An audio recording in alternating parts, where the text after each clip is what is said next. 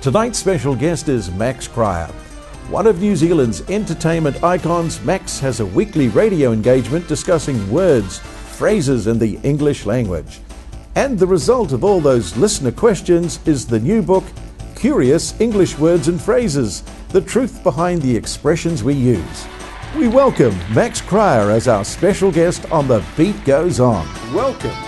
Welcome to our wordsmith.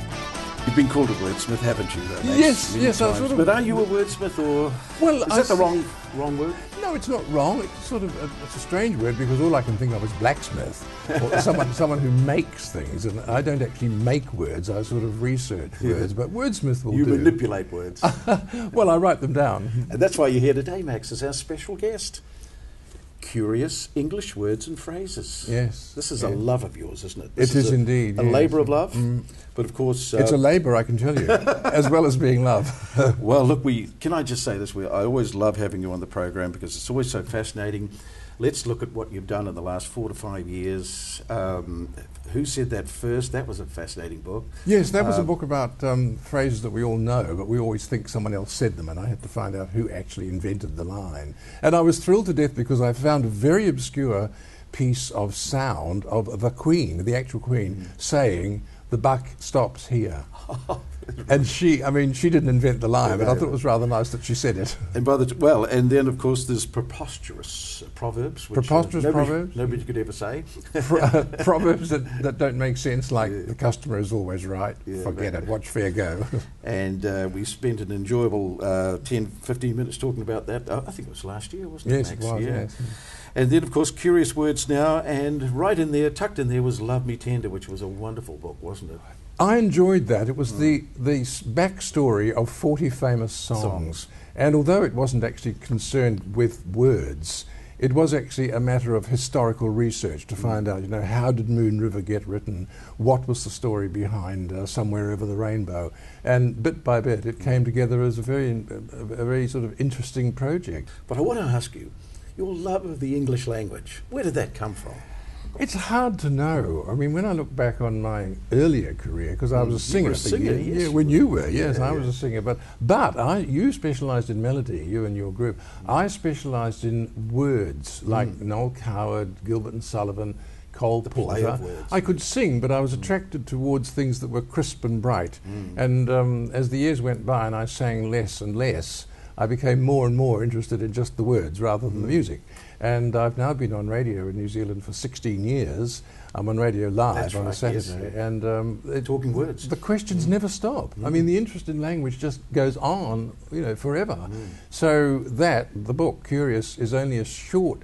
It's only a very few of the peculiar things we have in English. I mean, there's 1,200 entries in there, but there's another 1,200 sort of sitting on my desk at home. But what I'm trying to extract from you, Max, it's uh, it's not just a job. I mean, you've ended up doing this as a living, make, uh, bringing out these Yes. wonderful books. But there's also a love of the English language and a love of words because that's that's what sustains you, doesn't it? It's not just a job. Yes, It's something you're quite you- right. It's not just a job, and it is a love. Um, and I'm one of the very, very lucky people whose work is what I enjoy doing. Mm. I mean, I really enjoy that kind of research. It mm. can be very long and tortuous. Yes. You know, I'm driving to libraries all around the Auckland area. I think there are 50 libraries in Greater mm. Auckland, and each of them has a book that the other ones don't have, and you're not allowed to take out. So, you know, the reference shelf. So I'm forever driving somewhere to find a certain book that's got a certain piece of information that I need. Uh, some of our very uh, bright viewers at home might say, why doesn't Max just Google all this information? Why does he get into his car and drive to 50 different libraries to find out exactly? So give us that explanation again. I know we talked about that the last time. Well, it's it's difficult to say that without sounding like a terrible snob, but there is a certain danger in relying on electronically presented material. You don't know who put it there. Uh, very often, it doesn't have a date on it. Um, sometimes it's something their grandmother told them, which is the biggest danger of all for a researcher. And I prefer, you know, I have the Encyclopedia Britannica at home and I have the Oxford Dictionary at home, etc., etc. But I prefer to see evidence of something that's had good researchers behind it and has been written down and published and has a date on it. And then I feel secure because I can quote that and say, this is where I got this information from. Um, a publisher would raise an eyebrow if you said, I got this information from Google. They wouldn't be too thrilled. That which is written without pain is read without pleasure. Exactly. Now, so if we look at it, uh, it's from A to B, of course, sorry, A to uh, Z, not A to B, A to Z. Uh, but for our viewers to know that all over bar the shouting, there's a phrase, at the drop of a hat, uh, a can of worms, um, it's the pits, all those sorts. Uh, we've heard them all our lives. We hear them like osmosis. They come to us, don't they? Yes. And, and none of us ever stop to think, where did that, uh, where Well, did that originate? Well, the one you just said is particularly nasty. It's the pits. Yeah. You know, I mean, that's a very common saying. And you have the mental image of sort of falling into a hole in the ground, you know, that you can't go any lower. But You've that's gone into a pit, yeah. It's not actually what it is. Are you ready for this? Yes. It's a drug addiction line. And Really? yes, it is, and it originates among people who are so drug addicted and have used needles on their body so so many times that the only place left that is vulnerable, wait for it, is the armpit. Which would hurt. I know, Oh. yes. I mean, we better stop talking about it straight away, but So well, that is the truth. That is where it This comes is the from. last place you can stick the needle. Because so it was tender. conse- consequently, it became it's the pits. Yes, meaning That's about as low as you can go. Yes. Yeah, you're reduced. Oh gosh, the curly at. Where did that come from? Well, it's Italian and it, it's short for amphora. Amphora is a, a, a jar and it had a certain quantity inside it. So it was used in ancient Italy as a measure, and there were so many so many amphoras, and the A was uh, shortened down to a letter A with a curly Italian sort of a. And then as time went by into English, it became the cost of something. And if you asked your parents or your grandparents, they would say, "Oh yes, you would buy three meters of fabric or three yards of fabric at four dollars a yard," and the at meant that was the cost. Well, when email was invented, and I think I'm right in saying 1972, I, don't mm. quote me, um, the man needed a, a symbol which was on the keyboard but wasn't a letter and wasn't a number. So he chose the at, mm. and it went instantly into the language. It has, hasn't it? But every language calls it something different. Mm. You see, the Germans call it a monkey, and in Scandinavia it's called either a pig's tail or an elephant's trunk. Hungarians call it the worm, and France calls it the snail. Only boring English calls it the curly at. I think you can just say at nowadays and people will know, but it's really rather unimaginative. I quite like monkey and elephant's trunk, and oh, one country calls it the herring, you know, the rolled up herring. Hmm. The power of the English word, the power of it. I remember in the picture theatre way back when I was about seven or eight years old, and um, we were in the theatre and it was packed. It was a matinee on Saturday morning, and someone in the movie, it was a war movie, and they yelled out, bastard. Hmm. Wow. The whole theatre was let out, and oh, it was an audio, the shock of it with these kids. And yet today, that word is absolutely meaningless, and there's, an, there's another hundred, ten times worse than that. So things do change, words change. Absolutely. Do you think bastard is still a bad word? it has lost its impact from that. Uh, But the story behind it, the story behind it is rather rude. oh, okay. What is the story behind? Well, Bastard? it well, we have the the Yeah. official version, don't we? The official version is in my book, yes. Fil de basta. It means saddle.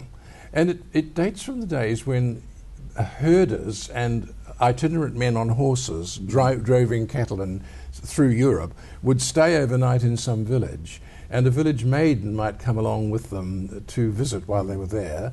And they would have, shall we say, a very interesting evening using the saddle uh, as a resting place. And so, Ooh. if she became pregnant, after long after they'd gone, it was called a child of the saddle. A child of the saddle. Wow. Yes, yes, it's sort of very sad, isn't it? No chance of marriage. Mm. So there was a child of the saddle. And then it stuck, of course, and then it became a derogatory term. Yes, yes, very much. Uh, and then, and also, it can be an affectionate term. You You know, he's a, a good old bastard.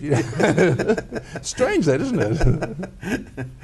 Now, who's going to enjoy this book, uh, Max? Who is going to love Curious Words? And, and where would they use it and why would they buy it? Let, well, what did, what did you have in mind? Did you have that reader in mind when you wrote it? Who will buy it? Who will look at it? I don't know. The interest in language is enormous. Like I told Yeah. you, 16 years of questions on radio, and they're Yes, still coming exactly. in. So presumably, people uh, who are curious to know. Well, it's just chock full of um, words and phrases that we hear, hear every day in the doghouse. Oh, that's wonderful. 1904. That was when Sir James Barrie wrote a play about a magical man called Peter Pan. And in a house in London, the Darling family lived, and their children were looked after by a dog called Nana. Hmm. and Nana used to look after the children. Well, one day Mr. Darling was cross with Nana and he chained her up. And that night Peter Pan came and whisked the children away to Neverland. And when Mr. Darling discovered that, that, that it was his fault because he had chained the dog up, he said, I am going to move into her kennel and I'm not going to leave until those children come back. And he did. And that's where the saying, in, the, doghouse, comes from. It means that you're in disgrace for some reason. Well, I've been there many times. A lot of people have. but 1904 on the London stage, that's where it began. Out at the airport, uh, Max, every immigrant to the country should be given curious words and phrases. And so- Well, that would be That would help them, wouldn't Yes, as long as they could read it. and another famous one, one that I wrote down: "Cat has got your tongue." Are you? The, it's not a very pleasant answer, Isn't it? No, not at Oh, all. Gosh. It it is believed to date back to the ancient days of Oriental kings, Oriental rulers, who had very severe punishments for people who committed a crime. Hmm. For instance, if you stole something, your hand was cut off. Hmm. But if you were found betraying the king or telling a lie, a major lie, your tongue was cut out Ooh. and given to the cat. I did warn you. Your c- tongue was cut out and given to the the Yeah. cat has got your tongue. Yes, which meant the person could never speak again. So in English, although not everybody knows the story until they read my book, um, we say the cat has got your tongue, or has the cat got your tongue, meaning Yeah. that you are not speaking. What's the matter? But I don't think that the reason for your not speaking is quite the same as it was in the days of ancient China. What a fascinating book. Before the cat gets my tongue, we better find out where we can buy this book. well, I'm hoping just everything that's got the word bookshop above the door is where the answer to that. They always say all good bookstores throughout New Zealand. I imagine that's the same here. All good bookstores. Well, uh, particularly Paper Plus. Yeah. I know that Paper Plus is um, quite interested. One so of your big supporters, big fans. Yes, so if you see the word paper plus, then you'll find curious English words and phrases. Now, before you go, Max, of course, one of the great things about the Beat Goes On, we always give some of these books away. So you were, you you were a fan of that idea, Max? Well, as long as there's not too many. what about three? Can we give three oh, away? three would be fine. Three. Okay, so Max, we do need a question. I think while we've been talking, Gerard, that you've said a couple of times I've been on radio for how many years? 16 years, wasn't it? So if you can email Gerard at the Beat Goes On, and in the subject line, just uh, put the, uh, the number 16. 16 years. That'll be a good answer, wouldn't it? And then we'll do the draw, and we could have three three lucky viewers will win a copy. And keep it in their loo. Max Cryer, wonderful to have you on the Beat Goes On. Thank you, See you next year with another great one.